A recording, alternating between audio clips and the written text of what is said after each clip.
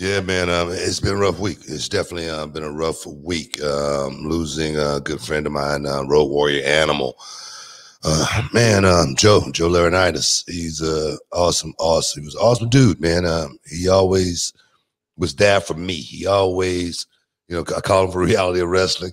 Uh, boom, he's there. You know, you know, want to help me train, man. Yeah, man, I got that, man. And then was be, to be so uh, enthused about working with the young guys, man. That's what I I remember about Animal more than anything. It, it, it was nothing in the ring. That's what that's what's ironic. It's nothing in the ring, and so many guys, um, of course, tell their story about Animal, and it's always you know match or something like that.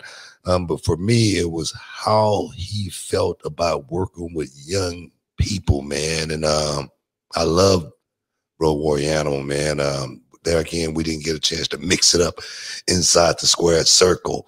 Um, Harlem Heat versus the Road Warriors like we really wanted to, but um, I just want to say, man, condolences to the family. Uh, you're going to be well missed.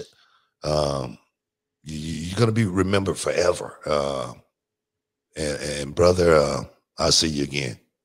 Yeah, but um, yeah, you know, uh, I just if if I can, real quick, when Animal did come down to reality wrestling that one time, super hyped to meet him. I, I you know, I was a Legion of Doom fan, right? Yeah, when, yeah. when, they weren't the Road Warriors, they're the Legion of Doom in WWE. Got to meet him. He was such an awesome guy, and I remember driving him after the show. I yeah. we went back to the airport together, and I drove him over there.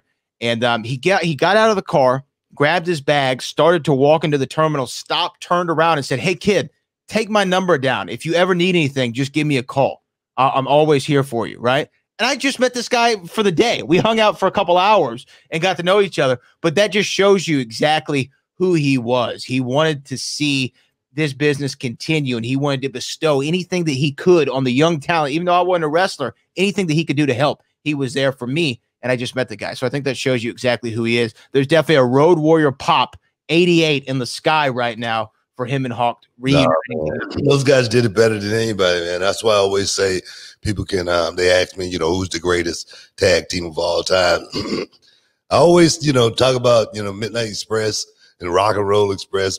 Um, but the guys that changed the whole name of the game um, was the Road Warriors. Um, as far as selling action figures, you want that. That's who you want to be like. You want to try to go find some spikes. know yeah, shoulder pads and face paint were a plenty. There's man, but um, they did it and they did it better than anyone. But definitely a sudden loss um, to the business. I know so many um, is mourning right now, and um, I just want to say I'm, I'm mourning with you um, because you know he, I wasn't just a fan; I was a good friend, and and and I was a fan at the same time. You know, so definitely he uh, will be well missed. But